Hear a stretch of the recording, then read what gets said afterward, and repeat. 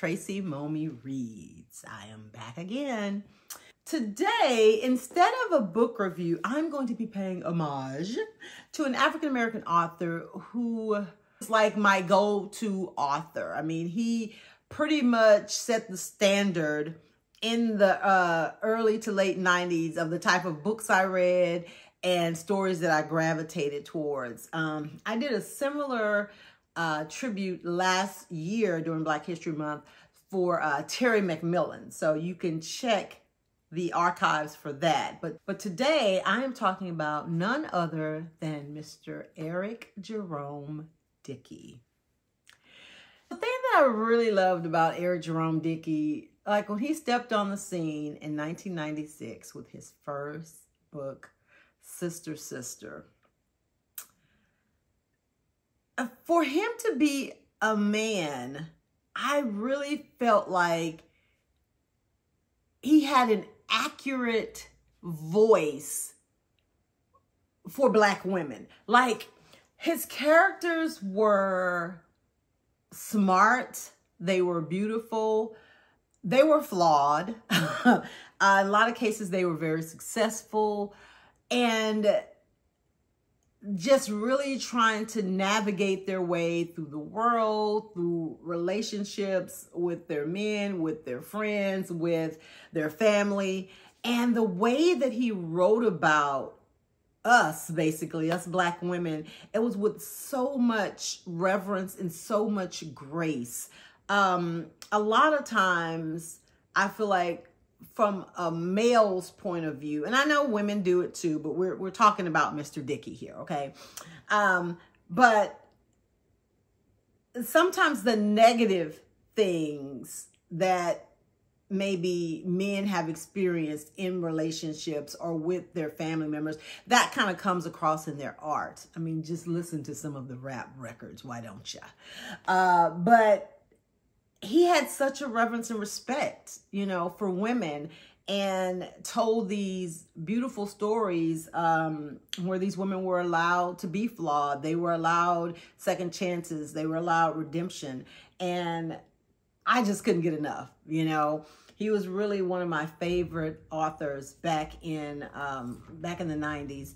And his stories, and, and I know you have to change with the time. You have to go with... Um, you know, what is uh, bankable, what is profitable, you know, what is popular.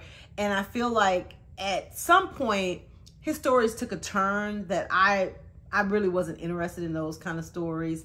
Um, I tried, I tried, but I guess I was so used to the Eric Jerome Dickey, you know, that had started with these great stories about relationships and friendships and things. And when they kind of took more of a grittier turn, I mean, I, I've read books like that, but I it just didn't seem authentic coming from him. I don't know why. I don't know why if it's because like the way he, you know, he had aged obviously like we all had from the time that he had wrote those books and then it's like he was going into a new kind of area and i'm like is this like realistic that a man you know in his 40s will be writing about these young drug dealers or thugs or assassins and all this stuff. And, you know, as a writer, I never would want somebody limiting what I write about, you know, because I feel like, you know, if you feel like you have that story in you or that you can tell a good story, do it. Hey, go for it. Go for it. But it was just a no for me. I just, I just didn't like some of his later work, you know, that he had. Uh, when I was reorganizing my shelf, I noticed something. He, I have more books by Eric Jerome Dickey than any other author on my shelf. And ironically, that it's followed close, uh, close second with Terry McMillan. This was a um, like an anthology or a compilation. And this one, I was lucky enough to obtain his autograph. So this one I really treasure because, you know, uh, he passed away last year. So I was able to get an autograph from one of my favorite authors. That's like kind of like a bucket list thing, I think, for readers. Yeah, I'm still going. and this was uh, like a holiday kind of short that he did. That was pretty cool. And I was lucky enough also, this was his very last release. And his uh, publisher, like they reached out to me, I guess because, you know, I was posting a lot of stuff on Instagram and with the hashtags, I was able to get this one from Dutton. Yeah, Dutton Books. They gave me a complimentary copy, which I still have not read. This one, oh my God, this is like, it's not, I mean, I've read books with more pages than this. We're like at 530 maybe, but I want to, you know, I, I am going to get to this hopefully this year, but I have not started it. But yeah, I have a big stack of Eric Jerome Dickey books, more than any other author. And um, they're like my prized possession. I have like purged a lot of books over the years. And I just, I cannot see myself. I don't even know if I'll reread any of these books, but I'm not getting rid of them. you know, that just, no, I'm not getting rid of them. We're going to keep these babies. We're going to keep all of them. So anyway, I just think that I don't know that he got the accolades that some of his contemporaries did um, because he was a phenomenal writer, you know, and um, there, there are a lot of people who had their books turned into TV shows or they got made into movies. And I feel like he had some really good stories that deserved also to kind of be told in a different medium.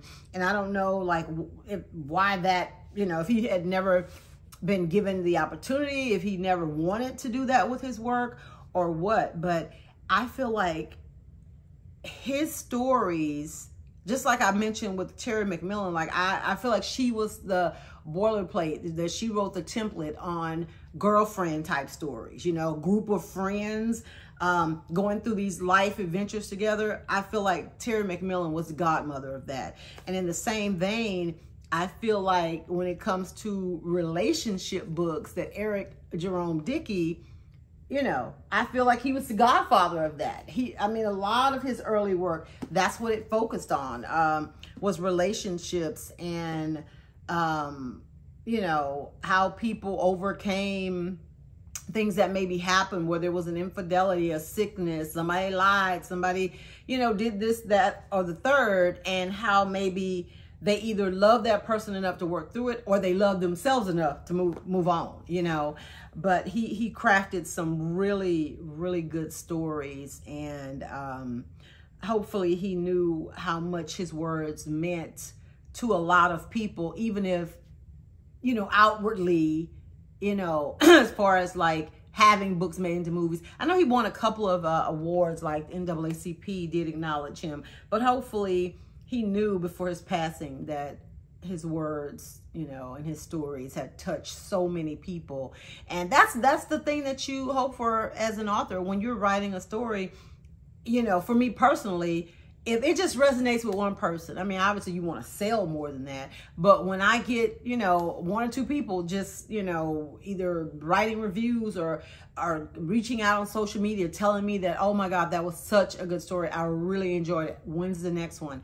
That, that is, it's fuel to the fire of writing um, because nobody wants to spend time I mean, I would write regardless. Whether I published it is another story, but writing is just food for my soul. But when you write and it actually resonates, that type of feedback, it just really does something for an author. So that's why if you're an avid reader, it's so important, um, especially if you enjoyed the book. You know, if you really enjoyed a story, um, tell somebody about it leave the author a, a, review on Amazon or on their website and let them know. I'm willing to bet that the majority of authors, I don't care how many reviews they get, those positive reviews, I'm willing to bet that they read them or their people tell them about them. And like I said, th that way you kind of know that, okay, this is, this is something I'm on to something here. People are really liking these stories that I share about mother and daughters. People are really liking these stories that I share about people fly fishing, whatever it is, you know, so that we know that we're on the right track, we're in the right lane, and, and we're reaching the people that we're supposed to reach. So, yeah, if you have not read an Eric Jerome Dickey book, don't know what you're doing with your life. Really just don't. My favorite books are the books that, you know, he had that came out earlier in his career. But I have heard that a lot of people really you know, liked the, uh, some of the grittier stuff that he did, and that was their introduction to him. So, uh, like the latter part of his life when he was writing those type of books, he had developed a new audience, you know, and that's the thing, that's the mark of a, a really talented writer that you can sustain a career as long as he did. I mean, we're talking about somebody whose first book came out in 1996 and he was still selling books before he died in 2021. That's that's a long career. So regardless to my personal feelings about, you know, the direction that his writing took, he was still selling books and had a new fan base of people who appreciated his work. And, you know, that's what it's all about at the end of the day. So yeah, I would love to know your favorite Eric Jerome Dickey book, if you have one. You know, if you have read his books, uh, and you've read more than one of his books, like let me know in the comments, like what's your favorite Eric Jerome Dickey book? I think mine, I mean, obviously I have all of these books and I really enjoyed all of them, but uh, Friends and Lovers and Sister Sister, like his first two books, those still hold a very special place in my heart. So just giving Mr. Dickey some well-deserved recognition and, you know, even a year after his death, his name is still being spoken.